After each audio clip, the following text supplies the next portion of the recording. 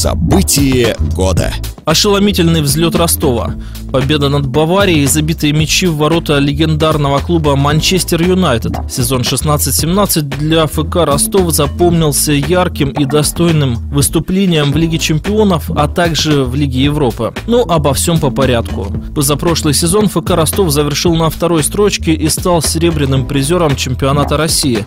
Это дало право желто-синим впервые в своей истории участвовать в Лиге Чемпионов. С этим событием футболистов, фанатов и всех жителей области по поздравил губернатор Василий Голубев. У нас впереди очень большая серьезная работа. Команда впервые стала обладателем серебряных медалей чемпионата России. Команда впервые вошла в Лигу чемпионов. У нас есть одна цель – двигаться вперед. И еще раз хочу вместе сказать Participa! Но чтобы туда пробиться, ростовским футболистам предстояли отборочные матчи. Вот именно отсюда и началась славная и современная история ФК Ростов. В третьем квалификационном раунде ростовчане сыграли с бельгийским Андерлехтом сначала в ничью 2-2, а в ответном матче забили сопернику два безответных мяча. Затем Ростову достался голландский клуб «Аякс». В гостях сыграв ничью, забив по одному голу, на своем поле разгромили соперников со счетом 4-1. Групповой этап Лиги Чемпионов преподнес ростовчанам сюрприз, и соперники достались именитые. Немецкая Бавария, ПСВ из Эйндховена и Атлетико Мадрид. Дебютный матч для новичка Лиги Чемпионов стал разгромным. Бавария забила желто-синим 5 безответных мячей. Но после наша команда не посыпалась, дважды сыграв в ничью с ПСВ, навязав борьбу мадридскому Атлетико и, конечно же, вернув должок Баварии. После сенсационного матча на тот момент главный тренер желто-синих Иван Данильянц поздравил мужиков с победой над именитым клубом. Мы поздравляем вас и ребят наших с этой великолепной победой, которая, безусловно, будет особой строкой выделена в истории ростовского футбола.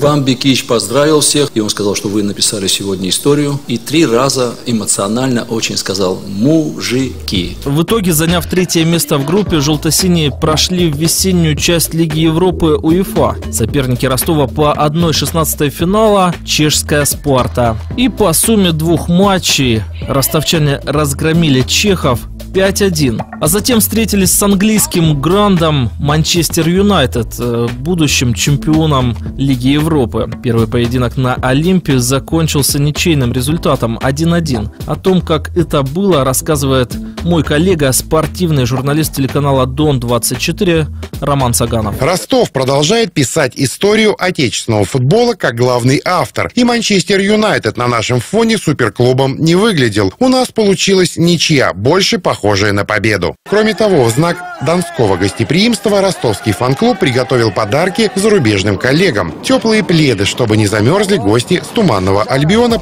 Однако по итогам двух встреч ничейного результата дома и минимального поражения в гостях, ростовчане уступили и закончили свое славное выступление на стадии 1-8 финала, что является наивысшим турнирным достижением команды в Лиге Европы. В первом сезоне Еврокубков были не только победы и поражения, но и отличная пресса. Испанская газета «Эль Мунда» после победы ростовчан над топ-клубом мира написала, цитата, «Баварцы были поражены огромной энергией команды занимающий шестое место в российской премьер-лиге. Редакция издания назвала победу незабываемой для Ростова, а команду палачом Андерлехта и Аякса. Уже летом фанаты вновь пережили эмоции победных еврокубковых матчей Ростова. Это произошло на премьерном показе фильма «Мужики». Он состоит из нарезок самых зрелищных эпизодов прошлого футбольного сезона и всегда будет напоминать об огромных достижениях Ростова. Проголосовать за лучшее событие года можно на сайте don24.ru. К Новому году мы определим победителя.